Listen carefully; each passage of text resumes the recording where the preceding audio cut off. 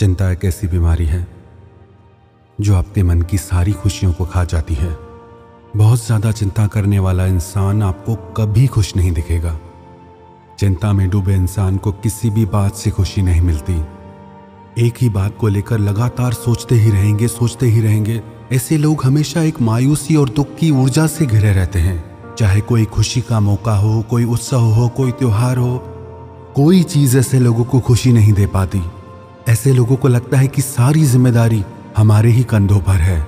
हम ध्यान न रखें तो सब कुछ बिगड़ जाएगा। पर यह सच नहीं है। कई बार सिर्फ़ आपकी चिंता करने की वजह से बनते हुए काम भी बिगड़ जाते हैं।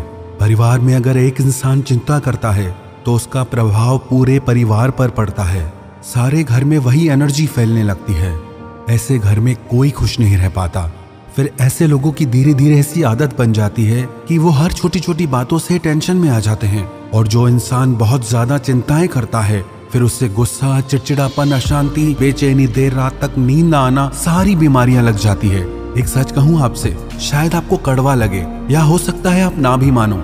जितनी ज़्यादा आप चिंता करते हो ना, वास्तविकता में ऐसा कुछ भी नहीं है जिसकी चिंता की जाए। कई लोग कहते हैं कि आपको क्या पता, हमारी लाइफ के बारे में। लाइफ कैसी भी हो, पर अगर आप समाधान नहीं निकाल पाते परेशानियों का, इसका मतलब आप खुद एक परेशानी हैं। If you can't solve the problem you are the problem ऐसी कोई चिंता नहीं, जिसे करने से आपको सुख मिल जाएगा, या आपके घर में और मन में शांति आ जाएगी।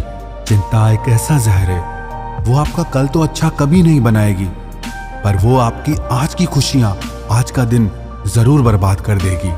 वास्तव में चिंता क्या है? ऐसा ना हो जाए, वैसा ना हो जाए। ऐसा क्यों नहीं हो रहा, वैसा क्यों नहीं हो रहा? इसका सीधा सा मतलब है, चिंता आप उन्हीं बातों की करते हो जो आपके कंट्रोल में नहीं है। अब जो आपके कंट्रोल में ही नहीं है, उनके बारे में सोच सोच कर आप कौन सा स्वर्ग खड़ा कर लेंगे? चिंता से दूर रहना चाहते हो तो ये पाँच बातें याद रखना। सबसे पहले तो कल क्या होगा? उसके बारे में सोच सोच के अपना आज खराब करना छोड़ दो। कल क्या होगा किसी को भी नहीं पता। पर आज और इस पल में आप क्या कर सकते हैं? वो आपके हाथ में है। उत्सव और खुशी के लिए किसी दिन का इंतज़ार मत करो। अपने आज को ही उत्सव बना लो। अपने आज में ही खुश रहना सीखो। दूसरी बात, जो बातें आपकी मेंटल हेल्थ के लिए अच्छी नहीं, उन बातों को भूलना और लेट गो करना सीखो। हर बात में बहुत ज़्यादा दिमाग मत चलाया करो। चीज़ों को लेट गो करना सीखो। बहुत परवाह कर लिया आपने। अब थोड़ा सा लापरवाह होना सीख लो। आपको ऐसा लगेगा मानो मन से सारा बोझ ही उतर गया। तीसरी बात, ये इच्छा बिल्कुल छोड़ दो कि लोग और परिस्थितियाँ आपके हिसाब से चलें। परिस्थितियाँ और लोग दुनिया में कभी किसी के हिसाब से नहीं चलते। जब किसी पे आपका कंट्रोल ही नहीं है तो क्यों इतना मरते हो? फालतू बातें सोच सोच के आप अशांति खुद ही खरीद लेते हो। ये सोचना छोड़ दो कि लोग और परिस्थितियाँ कैसे होने चाहिए। बल्कि ये सोचो कि आपको हर हाल में कैसे मस्त रहना चाहिए। चौथी बात हर बात के लिए आप अपने आप को जिम्मेदार बनाना छोड़ दें। ये मत सोचे कि सब आपको करना पड़ता है, सब आपको देखना पड़ता है। एक कड़वा सच जान लो, हमसे पहले भी सब चल रहा था और हमारे बाद भी चलेगा। यहाँ हर इंसान अपना रोल प्ले कर रहा है तो ज़्यादा सीरियस होने की ज़रूरत नहीं। कोई कुछ करे या न करे, आप उसके लिए अपने मन को भारी मत करें। प्रॉब्लम हर किसी की ज़िंदगी में, हर किसी की फैमिली में है। आप कोई पहले इंसान नहीं है। सबका यही रोना है।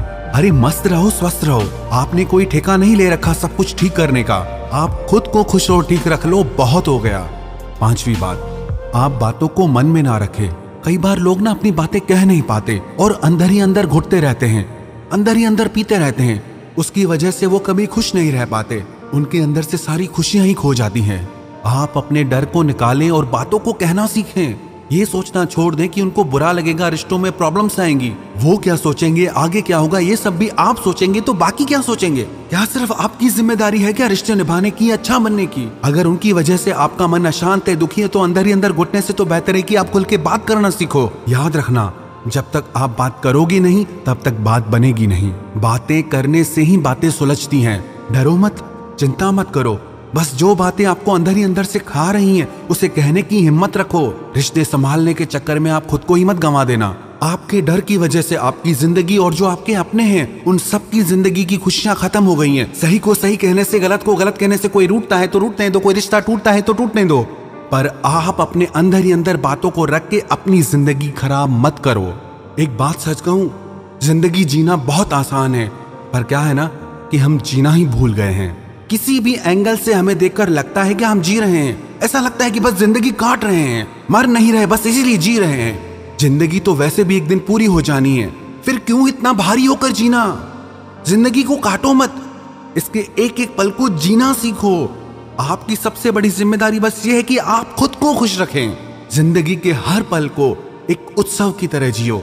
ये ज़िंदगी बहुत ही खूबसूरत है। इसे यूँ ही फालतू की चिंताओं में मत गंवा देना। इसीलिए आप हमेशा खुश रहो, अपने परिवार को, अपने बच्चों को खुश रखो और चिंताओं को अपनी ज़िंदगी से दूर रखो।